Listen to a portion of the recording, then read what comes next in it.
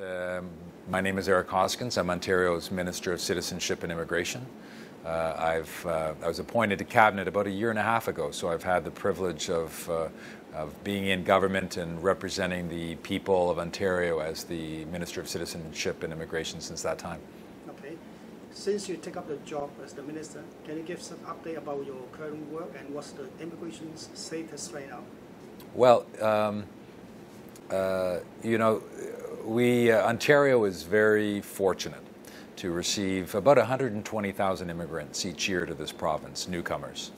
Uh, we're a province which is uh, incredibly diverse, and that diversity makes us stronger. You know, we benefit from the skills and talents uh, of people from right around the world.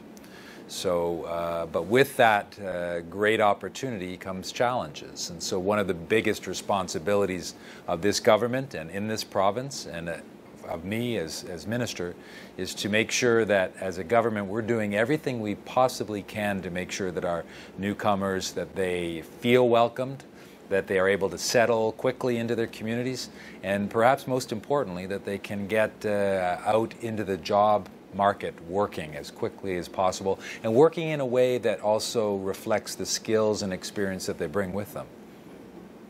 So when we look at it, Canada is the most popular place for immigrations, especially from people from China. Yes. So uh, as I say, you mentioned a little bit, so what kind of, what kind of service Ontario can provide for the new immigrants? So if they, they pick Canada as their like destination. Yes. Well, you know, our focus is, it's quite varied, but it is, uh, um, we do a number of things as a government. So, first and foremost, we uh, work closely with our federal counterparts, with the federal government, to make sure that we are um, not only attracting the types of immigrants that will help to strengthen Ontario and Canada and to build our economy, um, but focus very much on other important issues like family reunification, so family class of immigrants as well. And we have a tradition as well as a country and a province of welcoming refugees. So our, you know, one of the things that we do is work closely with our federal counterparts to uh, make sure that the system, the immigration system, is fair and it works well for uh, not only for Canada and Ontario, but for the immigrants that choose Canada. Once immigrants, once our newcomers arrive here in Ontario, uh, our focus is on such things as uh, English and French as a second language. So, uh, helping our immigrants, if they don't have a good understanding of English or French, that we help to improve those language skills.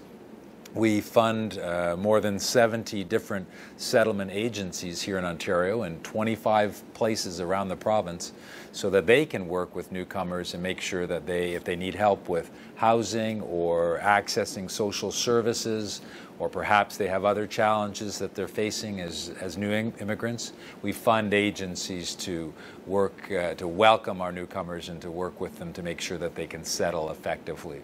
Uh, and then we invest.